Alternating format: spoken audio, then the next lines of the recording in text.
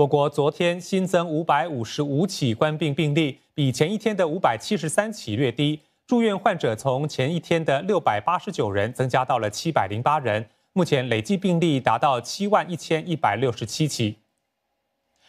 昨天新增的病例中，五起是输入型病例，其余五百五十起本土病例中，四百八十六起是社区病例，六十四起来自客工宿舍。在本土病例中，有一百四十五人是年过六十岁的长者，四十到六十岁之间的患者则有一百八十名，一百九十二人年龄介于十九到三十九岁。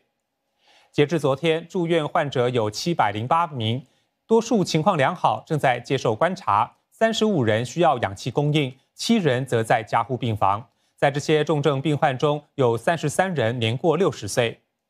除了牛车水大厦之外，布莱德岭人民行动党社区基金会 Sparkle Tots 学前教育中心也出现感染群，这一感染群的累计病例达到二十二起。卫生部说，冠病在同班学生之间传播，他们的家庭成员也受感染。位于阳景大道的建筑工地感染群也新增十七起病例，累计一百一十五起病例。多个巴士转换站感染群则共出现了三十一起新病例。